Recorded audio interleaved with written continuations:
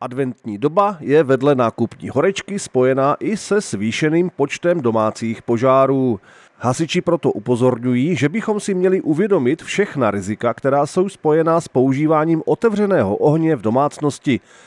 Domovy jsou totiž dnes doslova přeplněny vysoce hořlavými materiály. Koberce, čalounění, záclony, to vše je dnes vyrobeno z umělých vláken, které snadno hoří. Požáry v bytech se vlivem blízkosti hořlavých materiálů rychle šíří a mohou způsobit značné materiální škody i ztráty na životech. Riziko nadcházejících svátků eh, spočívá především v manipulaci ze zdrojí zapálení, jako jsou svíčky na adventních věncích, popřípadně i vánočních stromcích. Eh, každý rok evidujeme několik zásahů, které jsou právě způsobeny nedbalostí při používání těchto zdrojů zapálení. Eh, ta prevence je tu jednoduchá, kupovat opravdu výrobky, které jsou certifikovány a kde je znám jejich původ, dodržovat bezpečnou odstupovou vzdálenost od plamené svíčky k ostatním hořlavým předmětům a také dodržet jejich správné umístění, to znamená především na nehořlavé podložky. U adventních věnců dávat pozor, aby se do blízkosti plamene nedostaly hořlavé části těchto výrobků. Zajímavou akci pořádá pro otrokovické seniory místní radnice spolu s městskou policií. Při pravidelných setkáních upozorňují naše starší spoluobčany na rizika spojená například s podobnými prodejci, nejrůznějšími podvodníky či chováním v silničním provozu.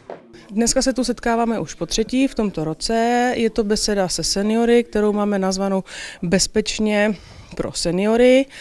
Eh, je to o tom, že se stají spolu s městskou policií, která eh, jim představuje svoji městskou policii a jejich eh, možnosti, tak odbor dopravně správní zase upozorňuje seniory na to, jak se mají chovat eh, na komunikacích, eh, jak se mají chovat v zimním provozu a vždycky připomenu nějakou statistiku a připomenu novinky v zákoně. Při těchto besedách ze seniory klademe důraz především na jejich bezpečnost, na jejich chování. Potom taky v průběhu besedy seznámíme seniory s historií městské policie, se vznikem, s různými zajímavostmi, které potom tyto besedy jsou zakončeny prohlídkou městské policie a vlastně na, našeho kamerového systému a podobných věcí. Právě jedním z příkladů spolupráce městské policie a seniorů je projekt tísňových tlačítek. Tísňové tlačítka fungují, máme několik výjezdů do měsíce, spolupráce se seniory je dobrá a odezva od nich je velmi kladná. Navíc upozorňujeme teď při těchto besedách seniory, kteří o tom třeba ještě nevědí, že městská policie v Otrokovicích zřídila tísňovou linku 156.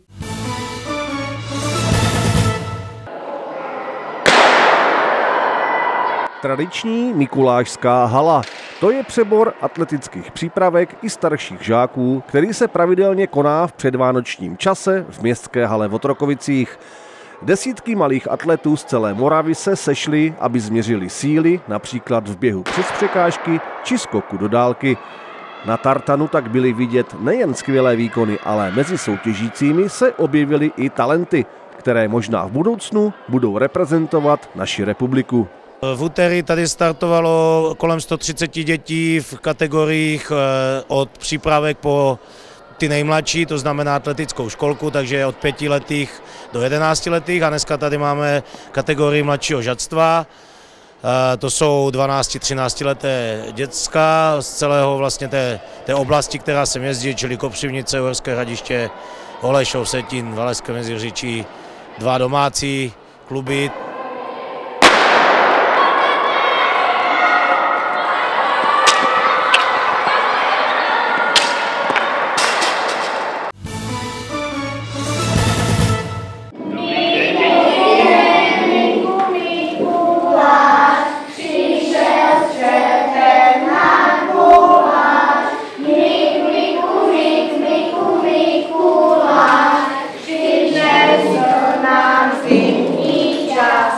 A s Mikulášem se přesuneme ještě na základní školu Trávníky.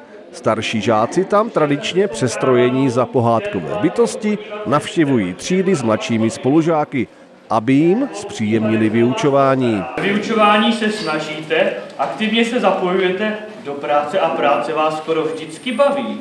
No to rád slyším, to rád slyším, to rád čtu. Jeden druhému pomáháte, jste kamarádi a většinou se k sobě chováte pěkně.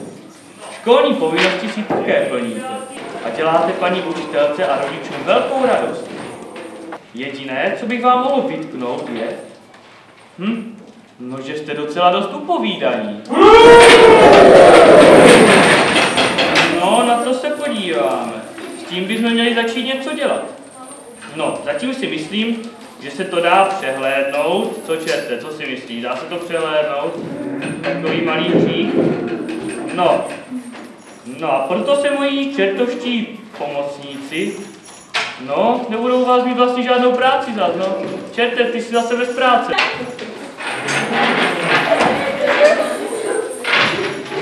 Ve druhé B bych chtěl pochválit všechny žáky za pěknou práci ve vyučování, domácí přípravu, snahu a píly. Chválím všechny děti za pěkné kamarádské vztahy mezi sebou a proto všichni dostanou od Mikuláše malý dárek. Původně, pozor děti, to poslouchejte, původně chtěl čert donést klukům trochu uhlí, ale anděl mu to naštěstí zakázal, protože jste se prý polepšili. Tak doufám, že je to pravda a že všichni kluci zůstanou ve třídě a nemusí do pekla.